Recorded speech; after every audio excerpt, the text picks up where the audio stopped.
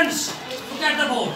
In this very class, our officer is going to teach you uh, second part. Second part of how to introduce yourself. How to introduce We yourself. have already done first part of this uh, very title. है ना already मैंने आपको पढ़ाया तो introduce means what तो introduce means to tell someone your name your place of location your hobby है ना your profession है ना it means you are giving your information to someone when you introduce yourself. Is it clear? Yes, sir. Let's get started. Peter, this is Sandy. This is Peter. And Sandy. this is Sandy. मैंने last class में बताया they haven't met before. हाँ? Yes, sir. So for the first time uh, they are meeting. हाँ? Yes, sir. First sentence. I live in India. I live in India. ये किसके response में आ गया Sandy. ने question किया सैंडी ने question किया सैंडी ने क्वेश्चन पूछा Sandy asked a question where Sandy have asked a question where do you live आप कहाँ रहते Oh. Where do you Live. आप कहाँ रहते Oh. तो उसके रेस्पॉन्स में आंसर किसका आ गया पीटर का I live in India. India I live in India. हाँ, उसने वो नेशनलिटी के बारे में बताया कौमियत पीटर ने कहा I live in India.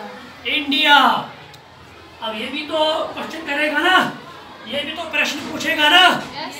तो इसने भी कहा where do you live Peter ने कहा किसको सैंडी को? वेयर डू यू आप कहाँ रहते हो? जब इसने कहा तो इसको भी जानना है ना? Yes, sir. इसकी place of residence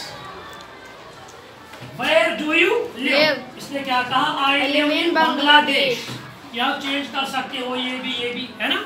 It depends upon your choice where do you live I live in Bangladesh में उर्दू ट्रांसलेशन बहुत इजी है आपके लिए है ना?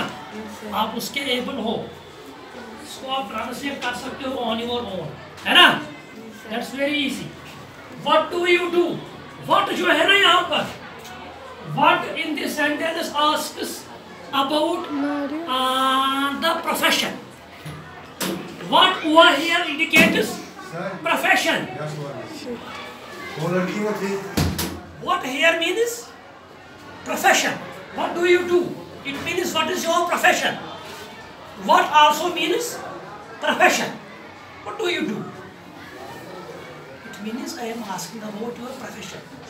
आपका पेशा क्या है आपका काम क्या है What do you do? I work. Sandy क्या बोलती है सैंडी ने क्या कहा in response I work at मैं स्कूल में काम करती हूँ देखो. Is it R or A? Is it R हैं स्पोकन में? A. Are you a? Are you student? S T D short for student. Or do you work? क्या आप स्टूडेंट हो या आप कोई काम करते हो क्या आप कोई काम करते हो क्या आप स्टूडेंट हो क्या आप कोई काम करते हो क्या आप स्टूडेंट हो या क्या आप कोई काम करते हो अब इसने क्या कहा सैंडी ने आई एम अ आई एम अ या आई एम अ टीचर अब ये दोबारा करेगा।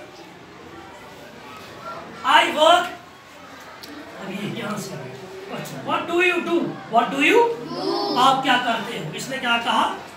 आई वर्क ये इसके रेस्पॉन्स में ये आ गया था हैं?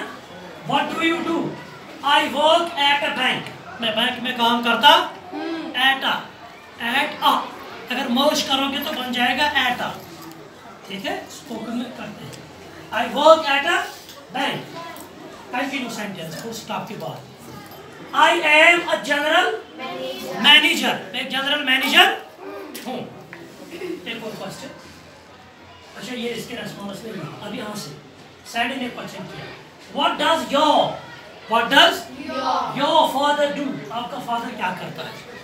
व्हाट मीन प्रोफेशन यहाँ व्हाट का मतलब है इस सेंटेंस से प्रोफेशन अब ये सैंडी जानना चाहती है कि आपके फादर का प्रोफेशन है क्या उसका पेशा क्या है वो क्या करता है काम क्या करता है? Yes, sir. यहाँ उसके रेस्पॉन्स में माय फादर वर्क्स ये वर्क्स क्यों आ गया? सर माय फादर वर्क्स क्योंकि this is third person singular noun already I have taught you.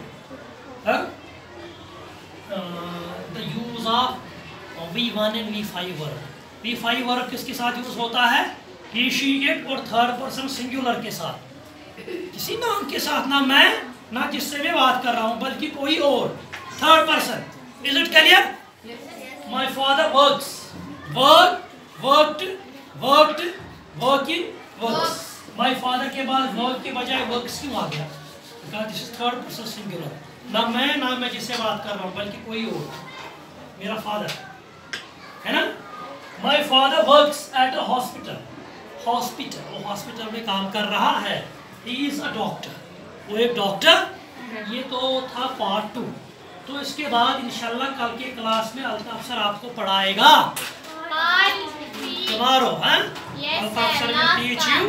Last part of दिसरी टॉपिक क्लियर आपको समझ आ गया आज का?